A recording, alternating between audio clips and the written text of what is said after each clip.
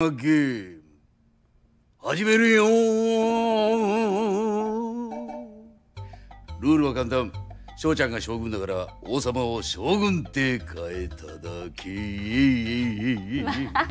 松平さんたらまたエッチなこと考えて。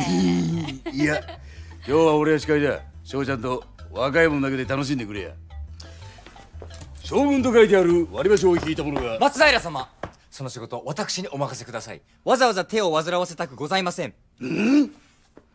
気が利くね。お酒メガネちゃん。はい。いいぞ新八。将軍の棒を将軍に。よーし将軍。引いて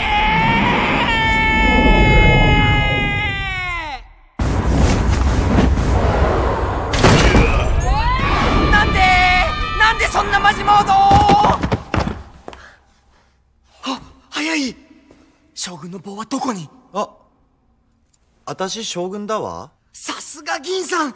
空気を察知していち早く将軍の棒を。でも銀さんが将軍じゃ意味が。じゃあ4番引いた人下着姿になってください。そうか。これで将軍に楽しんでもらうことができるってわけだ。さすが銀さん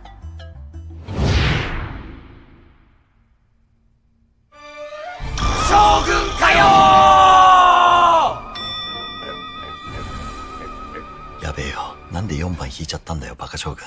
怒ってるよ。絶対怒ってるよあれ。しかもよりによってもっさりブリーフの日に当たっちゃったよ。恥の上塗りだよ。将軍家は代々もっさりブリーフ派だ。やべえよ聞こえてたよ。なんで代々ブリーフなんだよ。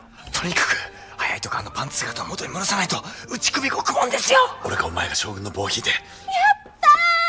今度は私が将軍。また外れある。えー、何勝手に2回戦始めてんの？どうしよっかな。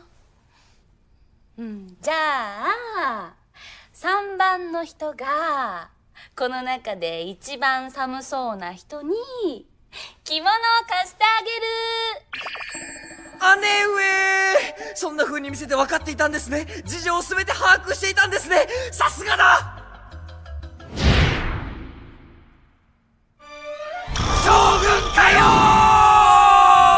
やべえよこの映画。頭からモザイク映像目白押しだよ。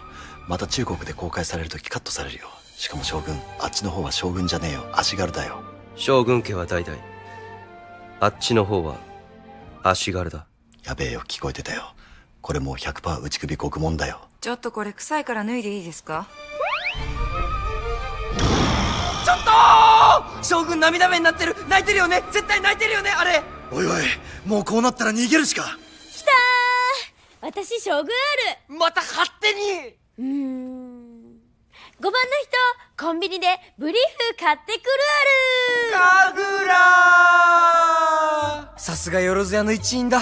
空気を察知していたんだね。ありがとう。勝ってくる。やっぱり将軍かよ